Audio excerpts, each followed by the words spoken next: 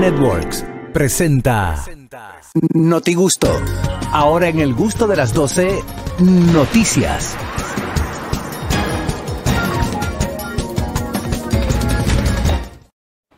Muchas noticias que usted no se puede perder y sobre todo hoy que es jueves tenemos como invitado a Enrique Crespo que más adelante va a estar con nosotros.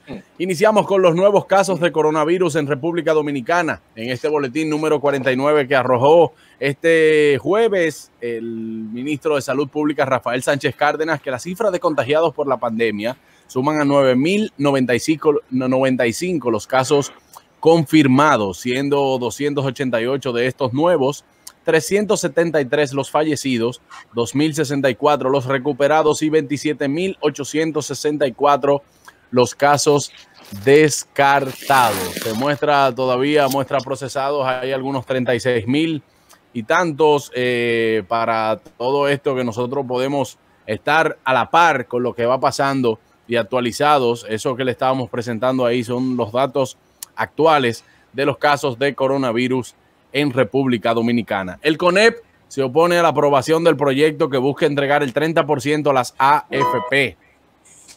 César Dargan, vicepresidente del CONEP, eh, aseguró que se trata de un tema muy delicado que no se puede tomar a la ligera porque lo que está en juego son los ahorros de millones de cotizaciones.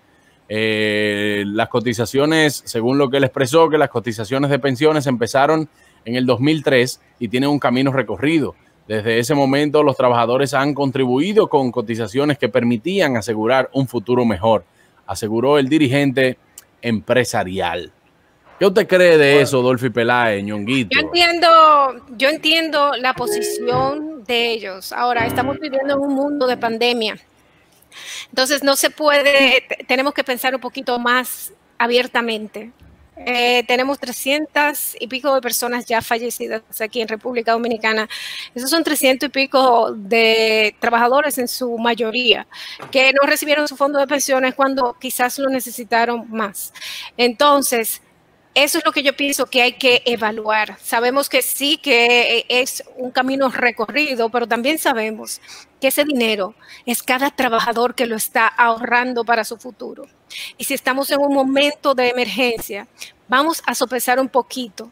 Si se puede, si se puede entregar el 30%, porque no se está pidiendo en totalidad, el 30% para poder manejar esta situación de crisis que se ha presentado en República Dominicana a nivel mundial en realidad.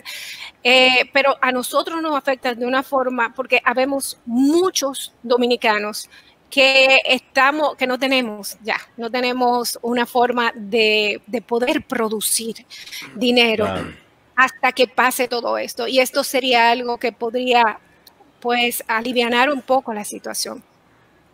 Sí, claro, que sí, claro. que sí. Eh, señores, hay algo que hay algo que yo quiero decir. Eh, yo vi el otro día un tweet que puso el señor Juan TH, Juan Taveras H.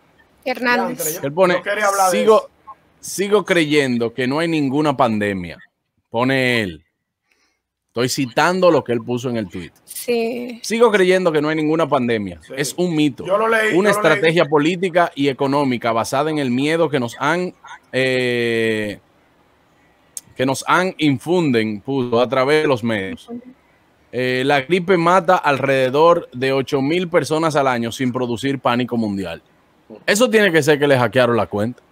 No, no, no. Él lo dijo, él, lo puso. De hecho. No, pero tiene que ser que alguien le. O, puede ser que él dejó el cursor de voz ah, y el cursor de voz lo, lo escribió y él estaba hablando o relajando, seguro. No, lo, de, estaba hablando. de hecho, de hecho, yo soy amigo de una hija de él que, que reposteó lo que, lo que dijo su padre. Y yo ni siquiera le respondí nada porque yo la, respeto mucho. Y ella pidió respeto para su padre y la opinión de su padre. Y yo me quedé callado. Digo, bueno, pues está bien. Si eso es lo que él piensa, pues amén. viniendo de Juan TH, me extraña un periodista de tanta experiencia, tantos años en los medios de comunicación, que se despache con esta barbaridad, pero nada, respetamos su opinión. Lamentablemente. Si fuera, si fuera algo que se hubiera creado aquí, yo te digo, bueno, no salió en ninguna otra parte pero del a nivel mundo. mundial. Pero esto es una pandemia que nosotros no fuimos el primero de los países afectados. Eh, y es real yo creo que eso ofende a las personas que han sido que han sido muy afectadas, que han visto a familiares morir al lado de ellos, los dos contagiados, uno al lado de otro, uno muere primero, el otro no sabe qué esperar. O sea, eh, yo entiendo que para mucha gente tiene que vivir la realidad del coronavirus y para poder entenderla. Eso va a pasar siempre en cualquier, en cualquier parte del mundo. Va a haber personas que piensan de otra forma, por supuesto se les respeta. Pero, pero la verdad es que es, obvio y lo que está a la vista pues no necesita anteojos. Bueno, es difícil, es difícil.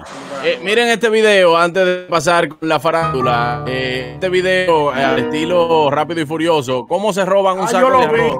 Ay, mi madre. Un motor, como si fueran unos SWAT. Vamos a, darle para atrás el video para ponerlo de nuevo. Mírenlo ahí, mírenlo ahí. Mírenlo ahí. Eso no fue aquí, ¿eh? Ah, no fue aquí. No, eso no fue aquí. Miren cómo, miren cómo se, se, se roban ese saco de arroz. Así, miren, al estilo rápido y furioso. Ustedes lo ven. Ah, cacho. Los SWAT tienen que pedirle entrenamiento a esa gente, yo creo. Pero la información que están dando fue de que, fue allá. Y entonces, eso, yo, eso te iba a decir, Juan Carlos, que la información que están diciendo en las redes sociales es que eso pasó aquí en nuestro país. Pero no, no, tengo, no tengo el dato preciso. No, no, yo tampoco, pero bueno, eh, pero la placa del motor. Ah, bueno. Déjame pon, el video otra vez. Ah, bueno, la placa. Según la placa, eso no es aquí. No, ah, no, pues no, aquí, ah, no, no, eso no es Digo, aquí. señores, hay que ver también, porque aquí hay. No, no, eso no es aquí. Aquí hay motores que andan hasta sin placa, o sea que. Claro. hay que ver, pero según la placa del motor no es de Sabemos que te gusta todo nuestro contenido. Si así es, bueno, pues suscríbete a nuestro canal de YouTube, activa las notificaciones y comparte también para que otras personas puedan disfrutar al igual que tú del gusto de las 12.